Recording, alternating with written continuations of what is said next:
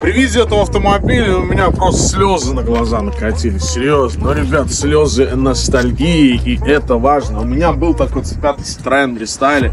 Где-то у меня был два года. Это были очень интересные времена, о которых вспоминаю. Приятные, блин, мгновения были.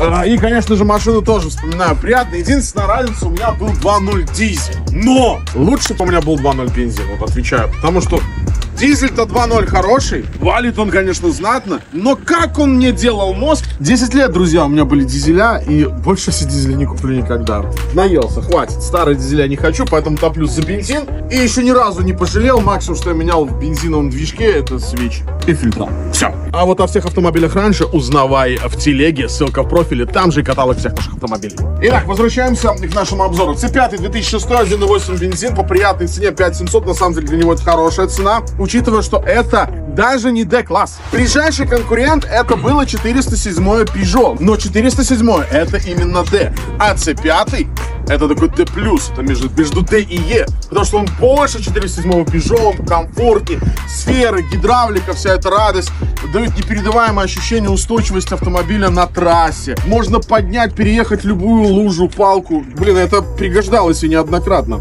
Более того, C5 в рестайле, он уже не такой верблюд, как предыдущий. Мне предыдущий кузов вообще не нравился. Вот рестайле мне понравился, вполне зашел.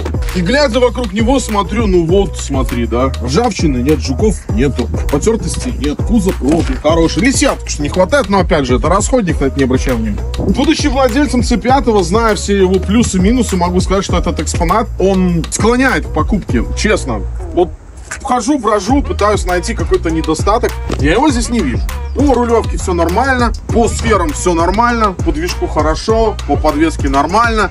То есть сел, поехал, купил, катайся, как бы и забот не знаю. Обслуживать его на данный момент не надо. В каких-то заменах он сейчас совершенно не нуждается. Давайте покажу еще салон. Чем крут C5? Это лифтбеком, ребята. Давай, мама Джан. И тут тебе на. Барашка положить можно отвезти, не знаю, на, на шашлык там его с ним что-нибудь, ну вы поняли.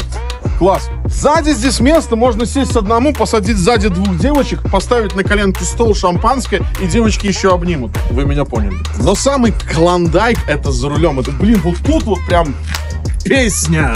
Здесь поистине рай для водителя. Настолько большое пространство, все такое мастодонское. Ты едешь а повторюсь, у нас же здесь гидравлика, сферы классно держат дорогу, на любом завороте она прям как на рельсах заходит, и ты так жон, жон, жон, жон.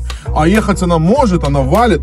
Хорошая музыка, климат без проблем всегда был, механика это надежная. Ну кайф, ребят, C5 есть C5, это, наверное, один из лучших, в принципе, Citroёнов, который только когда-либо выходил в мире за всю жизнь. За такие деньги взять такой автомобиль, я считаю, это очень хорошее приобретение. Вы получаете автомобиль очень высокого класса, престиж класса, в хорошем состоянии, на бензиновом двигателе, что плюс. Рекомендую, господа. Автохаус Грант для людей.